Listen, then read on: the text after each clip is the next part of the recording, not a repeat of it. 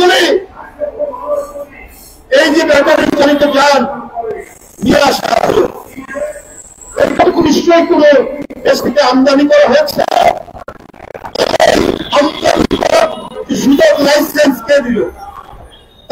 ঢাকার রাস্তায় বা রাজশাহীর রাস্তায় বা চট্টগ্রামের রাস্তায় প্রতিটি জেলা শহরেই আমি দেখেছি ব্যাপারী চালিত যান তাহলে তাদেরকে এই রোড পারমিশন এরা কারা দিল? আপনার সরকারি দিয়েছে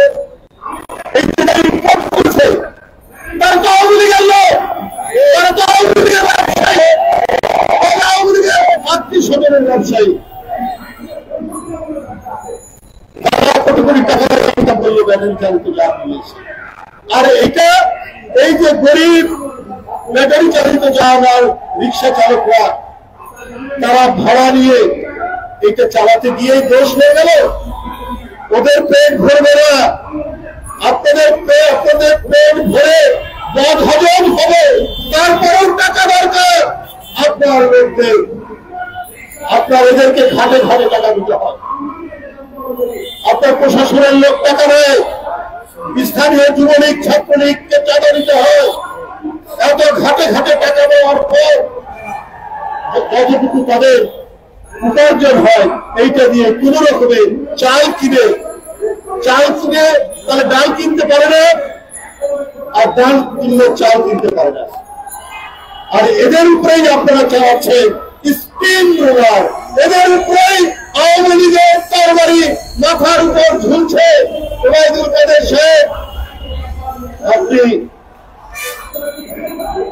গরিবের আহার কেড়ে নিয়ে, গরিবের ভাত কেড়ে নিয়ে আপনি রাজত্ব করবেন। আপনারা স্বর্গে বসবাস করবেন। ওই স্বর্গ থেকে আপনাদের বিদায় নিতেই হবে।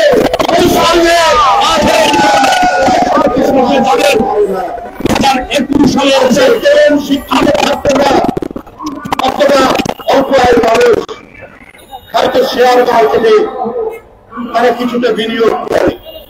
শেয়ার মার্কেটে আজ মাস ধরে পতন হচ্ছে, ওই পতন থেকে আর মাথা তুলে তাড়াতাড়ি টানছে না শেয়ার আর হচ্ছে, তরুণরা, যুবকরা, কোন রকমে যারা কিছু উপার্জন করে ঘরে বিনিয়োগ করেছিল, তারা সর্বশান্ত তারা ফটুন শেখ হাসিনা জানে, একটা জিনিস অনেক কথা তিনি বলেন, আমি এই করেছি, সেই করেছি, এত উন্নয়ন করেছি।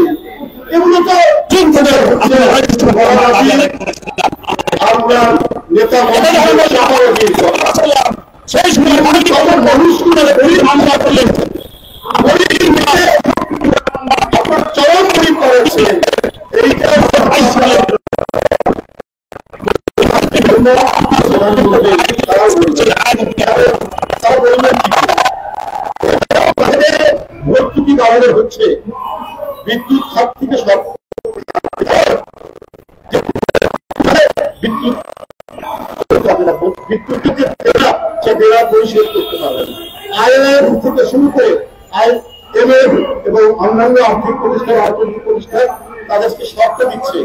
শর্ত দেওয়ার পরেও তারা ভর্তুকি বাড়াচ্ছে এই ভর্তুকিটা কে দেয় এটা কি গোপালগঞ্জের টঙ্গি করার টাকা দিয়ে চলে এই গরিব মানুষ রিক্সাওয়ালা, এই শ্রমিক, এই মানুষ এদের ঘরের টাকায় এই ভর্তুকি দেওয়া হয় এদের পকেট থেকে ভর্তুকি দেওয়া হয় তবে ওই যে রেন্টাল বিদ্যুৎ প্ল্যান যারা বানিয়েছে যারা আওয়ামী যারা আওয়ামী মন্ত্রী এমপিদের লোক তাদেরকে এই ভর্তুকির টাকা দেওয়া হবে।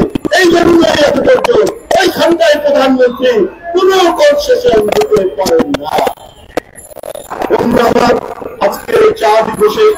আমি সেই সমস্ত মহান শ্রমজীবী মানুষ চা করে যারা আত্মঘাতী দিয়েছে আমি তাদেরকে শ্রদ্ধার সাথে স্মরণ করছি এবং তাদের আত্মদানের মধ্যে দিয়ে অধিকার আন্দোলনের যে পতাকা তিনি উড্ডীন করেছিলেন তারা, সেই শ্রমিকরা, সেই পতাকায় আমাদের গ্রামের পতাকা, সেই পতাকায় আমাদের গণতন্ত্র ফেরানো মত প্রকাশের স্বাধীনতা, মানুষের আহার, মানুষের পেট ভরে খাওয়ার যে অধিকার, সেই অধিকার আন্দোলনের প্রেরণার পতাকা, আমরা সেই পতাকা ধরে এগিয়ে চলব আপনাদের সকলকে ধন্যবাদ। আমি আজকে যারা আন্দোলন করছেন